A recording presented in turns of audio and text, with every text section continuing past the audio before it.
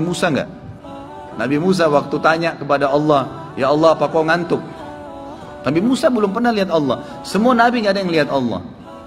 Yang lihat Allah nanti cuma penghuni surga. Dan nikmat terbesar di surga adalah melihat wajahnya Allah Azza wa Semoga Allah karunia kita. Tidak ada Nabi yang melihat Allah SWT. Termasuk Nabi Muhammad SAW belum pernah lihat Allah.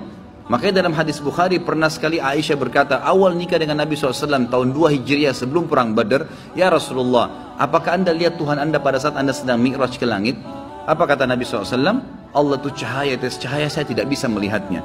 Nabi pun tidak lihat SAW. Belum ada yang lihat wujudnya Allah. Nanti hari kiamat itu pun di surga.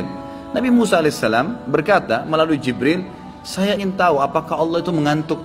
Apakah engkau mengantuk ya Allah? Sampaikan pesan itu. Jibril AS jawab mengatakan, Tuhanmu memberikan salam kepadamu hai Musa dan kamu disuruh pegang segelas air. Jangan kamu pindahkan sampai Tuhanmu perintahkan. Baiklah, Nabi Musa pegang gelas, dipegang. Dari pagi nih disuruh pegang. Tidak ada wahyunya Allah datang. Nabi Musa patuh pegang terus nunggu. Sampai malam. Waktu sudah malam karena kelamaan pegang gelas ngantuk Nabi Musa. Begitu ngantuk gelasnya jatuh tumpah air. Pada saat itu Jibril AS datang.